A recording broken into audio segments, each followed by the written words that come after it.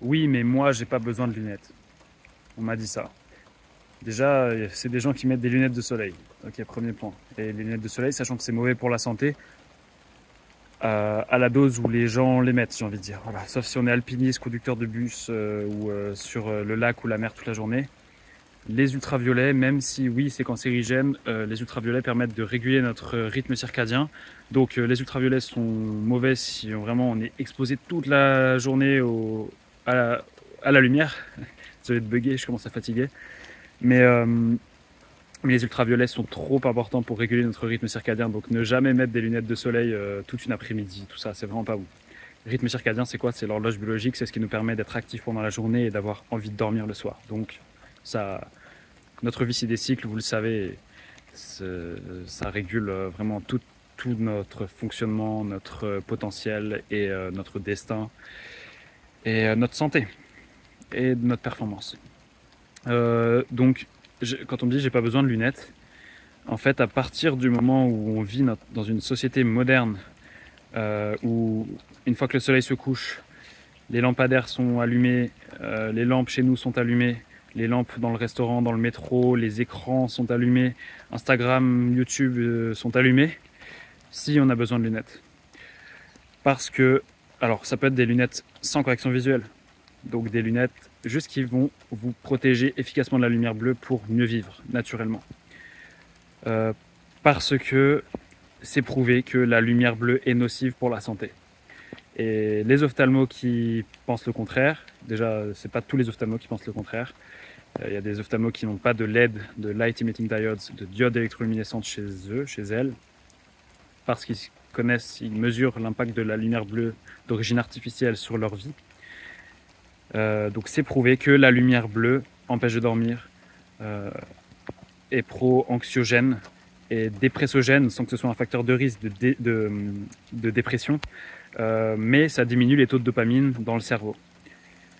c'est prouvé que c'est nocif pour la rétine, sans que ce soit prouvé que ce soit non plus à risque de maladie, donc par exemple de dégénérescence maculaire liée à l'âge, DMLA, mais c'est prouvé que les cellules de la rétine souffrent avoir un mauvais sommeil aussi, je retombe sur le sommeil, mais c'est prouvé que euh, c'est hyper mauvais pour la santé et puis euh, je trouve aussi presque pire, c'est mauvais pour notre quotidien en fait. Donc euh, au lieu de vivre la vie qu'on mérite, eh ben on la vit pas et sans vraiment savoir pourquoi.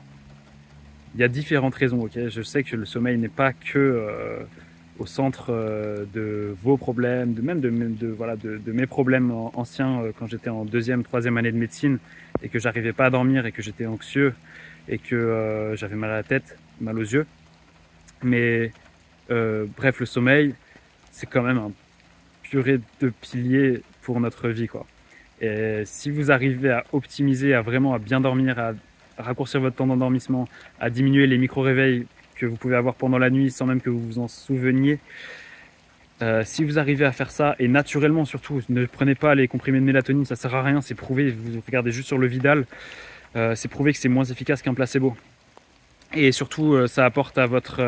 je vais faire un, parallèle osé, mais les bodybuilders qui prennent des stéroïdes, bah, ils disent à leur corps, du coup, qu'ils ont plein de stéroïdes, enfin, ils font croire à leur corps qu'ils ont plein de stéroïdes, enfin ce qui est vrai, une source exogène de l'extérieur des stéroïdes, et ce qui fait du coup que leur corps ne sécrète, enfin ne produit plus de, stéroïdes derrière. Et donc euh, ça casse tout le cycle naturel de sécrétion des stéroïdes. Et du coup après ils ont des tout petits, des tout petits testicules. Et bah pour la mélatonine c'est pareil, si vous donnez de la mélatonine en quantité énorme et même à libération prolongée, euh, à votre euh, corps, et ben votre glande pinéale après, donc votre épiphyse qui est à l'arrière du cerveau et dont le job est de sécréter la mélatonine une fois que le soleil se couche, un peu après, euh, et ben elle se dit qu'elle a plus de travail à faire et elle est complètement déréglée notre glande pinéale après. Aussi, chose que j'ai pas encore dite vraiment dans les vidéos, mais si vous avez fait un parcours scientifique, vous comprendrez que dans toutes nos cellules, dans nos 37 1000 euh, milliards de cellules. C'est ça, on a 37 000 milliards, on a 37 trilliards de, cellules. Euh, on, a, on a beaucoup de mitochondries. C'est en dehors du noyau, dans le cytoplasme. Les mitochondries, c'est des centrales énergétiques. Une bonne partie de vous le sait. centrale énergétique en gros qui nous permettent bah, par exemple de contracter nos muscles, de faire, de faire marcher notre système. Pas que les muscles. Salut toi. Et, euh, et bah, ces mitochondries, euh, plot twist, elles, euh, en fait elles se réparent. Elles ont besoin d'être réparées et elles se réparent principalement la nuit et sous l'effet de la mélatonine. Et donc si vous sécrétez pas votre mélatonine à cause d'Instagram, sans vous protéger de la lumière bleue, à cause des lumières qu'il y a même dehors, euh, bah, vos, vos, mitochondries sont en mauvaise santé et les mitochondries en fait c'est la base de la vie. C'est la base de la vie. Vous avez aussi sûrement appris la photosynthèse et tout. Voilà, je vais terminer cette vidéo. 5 minutes 45, c'est correct. Pas trop long. Et si vous avez des questions, bah, envoyez-moi un message Instagram. Première fois que je le dis aussi là sur une vidéo comme ça, j'ai pas la science infuse, ok? J'ai juste recherché beaucoup de trucs. Euh, j'ai eu aussi la chance de faire des études de médecine avant, donc ça m'a permis de comprendre euh, peut-être plus rapidement que si j'avais fait, euh, je sais pas, euh, droit, commerce, tennis professionnel, mais bref. Et donc, donc voilà, j'ai pas la science infuse et et le mieux, c'est juste de, se renseigner aussi, d'aller sur PubMed, ok, P-U-B-M-E-D.com, et vous tapez Blue Light et vous, vous, vous vous laissez guider.